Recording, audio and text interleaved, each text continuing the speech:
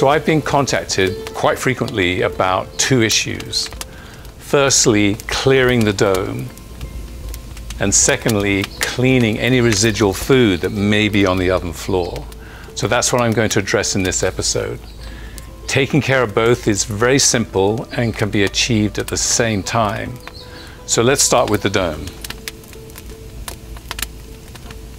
If I want to put a lot of heat into the oven, like when I'm making pizza, then I'll start with a large fire.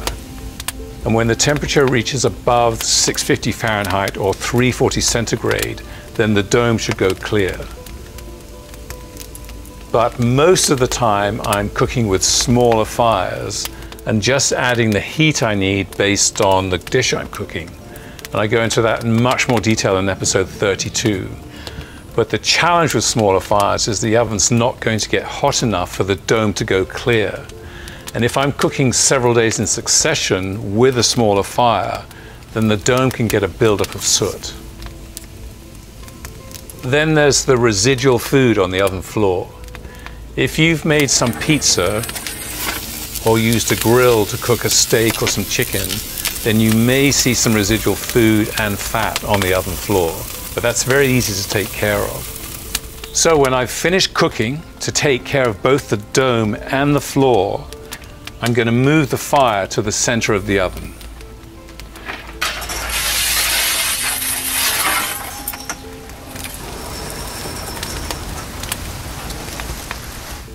And then add several pieces of fuel.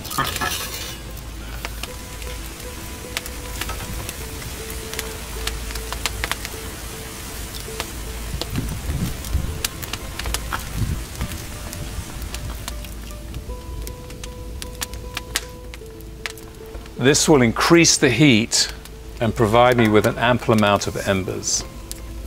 Once the oven temperature gets above 650 Fahrenheit or 340 centigrade, then the dome will begin to go clear.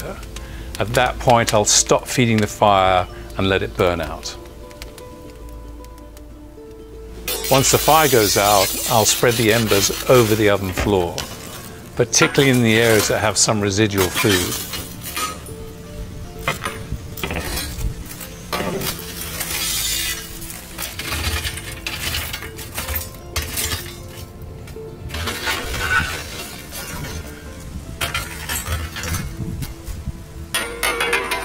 Then I'll put on the oven door to trap in the heat.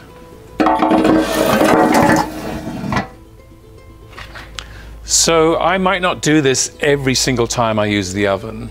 If I know I'm going to continue cooking the following day, I might skip this step. And I usually do this at the end of a weekend of cooking when I know it's going to be several days before I use the oven again. So I'm going to leave the oven alone and then I'm going to show you what it looks like a few days later.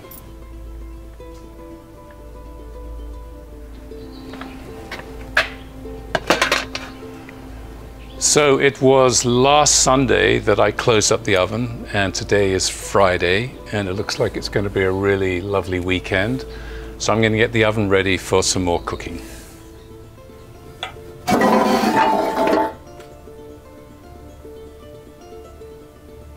So the dome is nice and clear, so all I have to do now is remove the residual ash from the oven floor.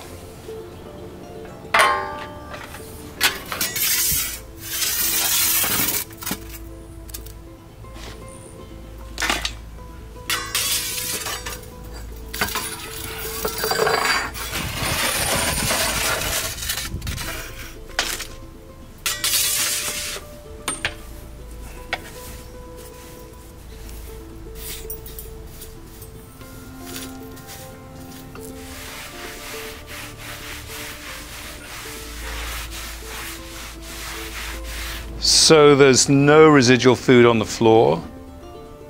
The dome is nice and clean, so my oven is ready to be fired up again. So that's the method I use. Let me know if it works for you.